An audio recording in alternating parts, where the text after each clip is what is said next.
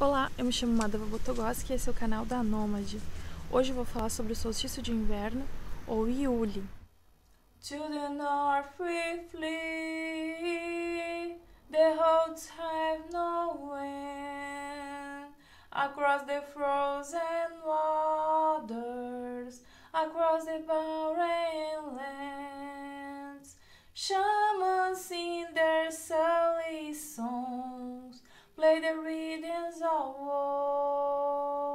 more than ones we've lost, the ones that no more. Em cada ano ocorre uma data que varia entre 20 de junho a 23 de junho. É o momento em que ocorre a noite mais longa do ano e marca também o início do inverno. No inverno, naturalmente, as pessoas ficam mais introspectivas, avaliando melhor o momento em que estão passando. Apesar do inverno ser um período que representava para os povos antigos restrições, que eles precisariam estar preparados para os meses frios que viriam, eles tinham que estocar alimentos para esse período e tinham diversos tipos de rituais que eles faziam para se protegerem e pedir auxílio da natureza de suas forças.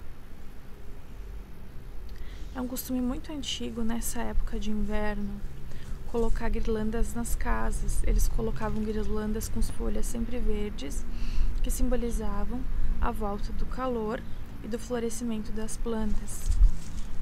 Além disso, também serviam para afastar o frio, o inverno, as coisas ruins, os, os espíritos ruins que para eles representava a doença, a fome. E tudo isso é um assunto muito atual. Nesse período em que começa a esfriar, a gente começa a ver as nossas necessidades, ficar mais quieto. Esse recolhimento é propício para nós pensarmos sobre a nossa vida, sobre aquilo que nós gostaríamos que mudasse e fazer um novo planejamento. Como comemorar o solstício de inverno? Solstícios e equinócios são momentos em que a natureza muda o seu ciclo, por isso são momentos de poder existe um momento em que tudo aquilo que você pensa você pode realizar. É um momento de potencializar os seus desejos e aquilo que você quer daqui para frente. Provavelmente você vai sentir muito cansaço, preocupações em excesso, coisas que você não estava dando bola vão ressurgir, situações que você precisa resolver.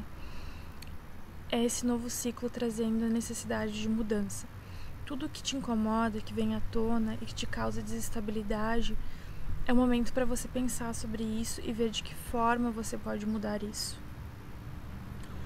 O solstício de inverno é um momento de agradecer então por aquilo que você tem e renovar suas esperanças para os seus projetos para o futuro.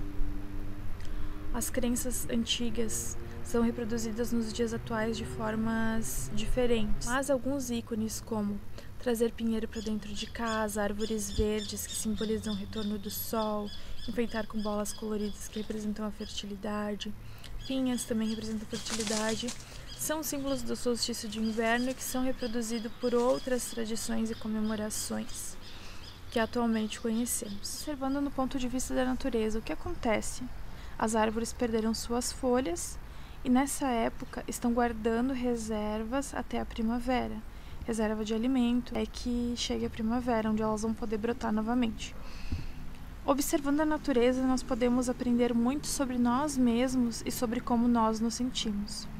Naturalmente, no inverno, estando ou não conectados com a natureza, nós podemos observar que as pessoas ficam mais introspectivas, que avaliam mais as suas vidas.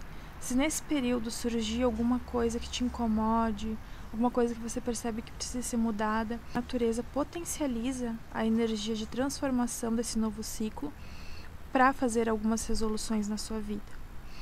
Magicamente, o que você pode fazer? Comemorar com a sua família, agradecer, fazer oferendas em agradecimento. Se você e as pessoas ao seu redor estão com saúde, pelo alimento, pelas coisas simples, mas que desde os tempos remotos eram muito reverenciadas pelos seres humanos E no período em que a gente vive, isso se faz muito presente e é muito importante.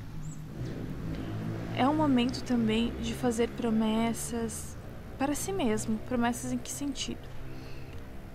Para mudanças no seu próximo ciclo. Prometer e cumprir uma nova meta, largar algum tipo de vício, fazer resoluções para os próximos ciclos, para quando chegar a primavera você estar renovado transformar as coisas que não estão boas e através da sua necessidade, das coisas que você percebe que não estão satisfatórias, você poder ter um norte para a mudança. As pessoas levavam árvores para dentro de casa enfeitavam com pinhas, com bolas coloridas que representavam a fertilidade. E representavam também que a primavera iria retornar, era um símbolo de esperança, de que logo a primavera retornaria e também a fertilidade da terra. Faziam guirlandas para colocar nas portas, acendiam velas que representava a criança da promessa que tinha voltado. A criança da promessa é o sol. Por isso nós conseguimos ver uma associação da celebração de Natal com os ícones do solstício de inverno. Mas isso já é uma outra história. Porém, no hemisfério sul, que é onde eu moro, eu utilizo esse momento para celebrar, para agradecer, para fazer uma retrospectiva e perceber o que não está legal, o que eu preciso mudar, para estabelecer metas. Utilizo esse momento de transformação da natureza, um novo ciclo e uma nova oportunidade. Desejo a todos um excelente solstício de inverno e um novo ciclo com muita reflexão, mudanças e principalmente esperança para seguir em frente nos dias mais difíceis que seguem. And the winds are silent, we know where to go. Go away from the lands of death goes no.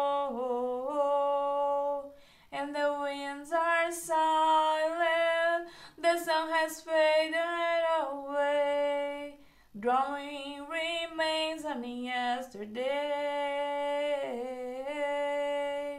I hear the horses'